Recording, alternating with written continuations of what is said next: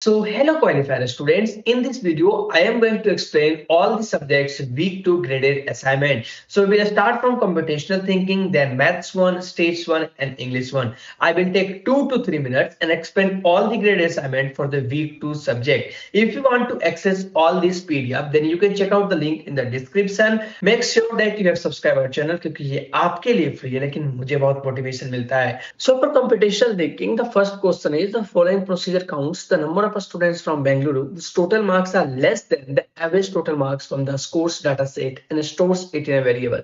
As you know that all this data set will be given in a drive folder, you have to use that data to answer all the graded assignment answers. So I am dropping down this PDF link in the description. You can check out there. So for English, the first question is identify the part of the speech of the underlined word. She was honored for her courage. So for English, it starts with she was honored for her